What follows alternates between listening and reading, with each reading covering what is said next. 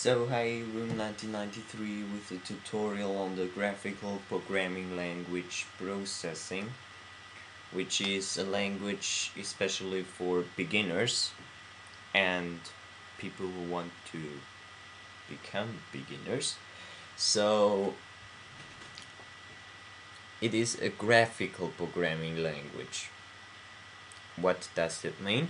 That means that it's especially used in art and for creating games sometimes but only in 2D because processing in 3D uh, causes some sometimes causes crashes of the programs and it's not very fast and it's not it has not very good graphics. But for processing in 3D there are solutions that are quite good like this OpenGL library you can use for creating 3D programs with processing that are quite intensive. For example 3D games but if I were you I would use a different language to create a 3D game for example the developer of Apple with Xcode and so on. So the um, HDD of processing is quite simple. We have a line over here with file, edit, sketch, tools and help. And what we have over here is run, stop, new, open, save, and export. Um, run executes the application immediately. For example, this one, this is the program we want to have when we have finished our tutorial here. Um, I press the button run and so it opens and this is a program which, surprise surprise, it draws rectangles on the screen and it in fact it never stops and the rectangles have a nice random color as the background has. And then we have a function which is called mouse press. And when I press the mouse there are drawn lines between these rectangles, but the function doesn't stop. We will leave out void mouse pressed today because I don't have it finished. No, I don't have finished it. I'm very sorry. Um, so let's proceed.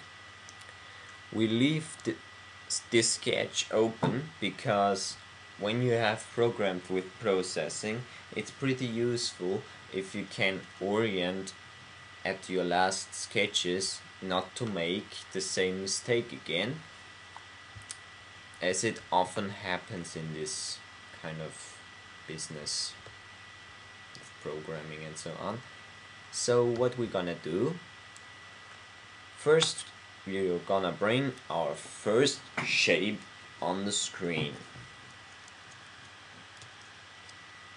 It is a line. For that, we need to to uh, type in line and give him give her give it some some parameters in fact 25, 25, 25, 25. Yeah. No, that doesn't work here. I'm sorry, so like that. We're gonna run it, and what we have is a spot on the screen. Not even a real line. Don't be disappointed. Shit happens.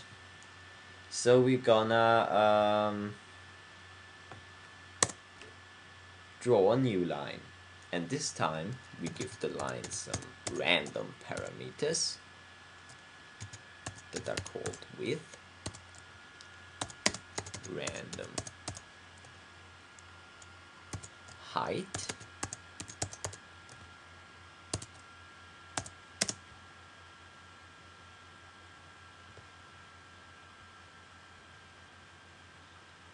and we can copy them.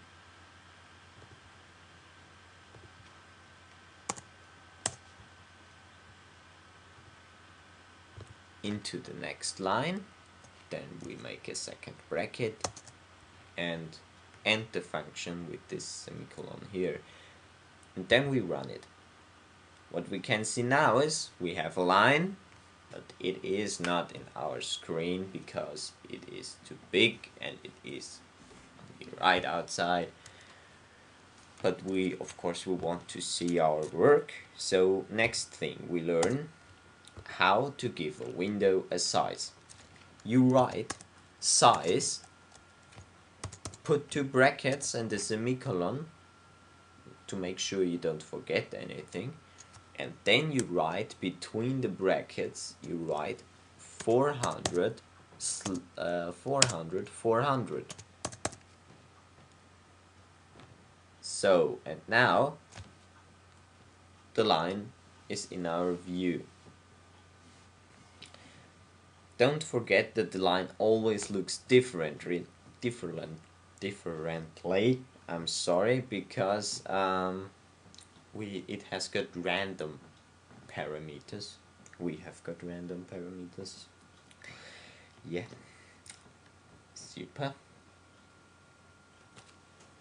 That is also why the cover of Warcraft 3 is smaller than the cover of my favorite LP for example. Wow. No. Um